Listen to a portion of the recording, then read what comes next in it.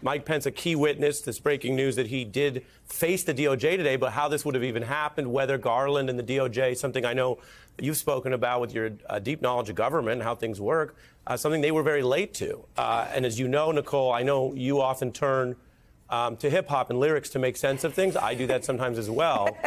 Um, but it is a fact that Attorney General Garland, overseeing the larger probe initially, um, was late.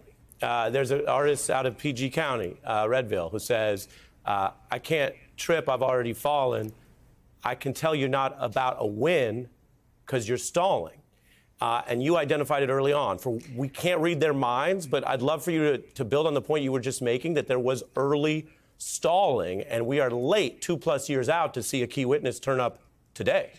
I know from working in government that there is an inertia to not moving.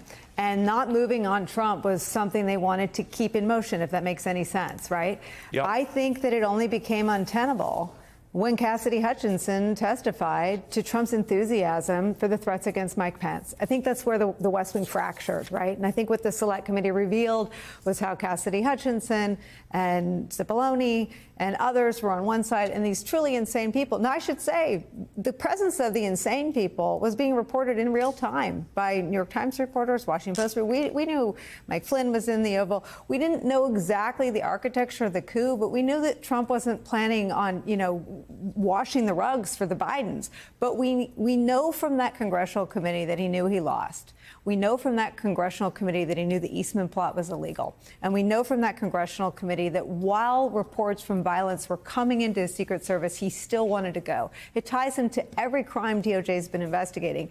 And I think that we're Demo- we're having been a Republican, right? We're sort of coming out coming out of, of, of a party I was a part of.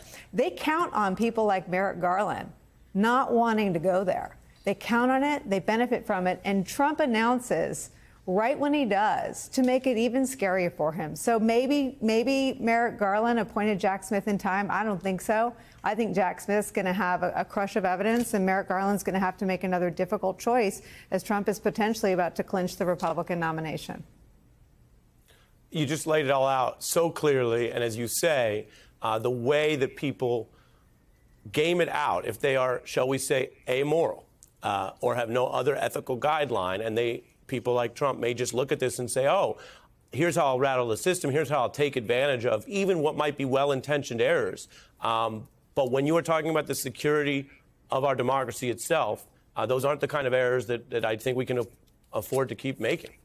No, and when it was a threat of terrorism from abroad, Republicans didn't blink, they didn't flinch. There was nothing they wouldn't do. A lot of those things are wildly unpopular. All of them are wildly unpopular with our viewers. But when it was a domestic violent extremism threat that intersected with Trump's base, they wanted to look the other way. Mitch McConnell goes to the well, right, of the, the, the, Senate and says, oh, I refer these crimes if there were crimes. No one wants to touch it. Not the Senate Republicans who could have convicted him and been done with him, and not Merrick Garland, who was extremely political in doing nothing or in taking a long time to do a whole lot of something with Jack Smith. Is that a lyric somewhere? It should be, right? I think you just wrote it. I think you wrote it. Uh, I've talked. What is it? Uh, no, I really appreciate it. They say you know campaign and poetry govern in prose. I think you are right on the line of both there. Uh, we will we will refer your lyric like so many criminal referrals uh, for some good use.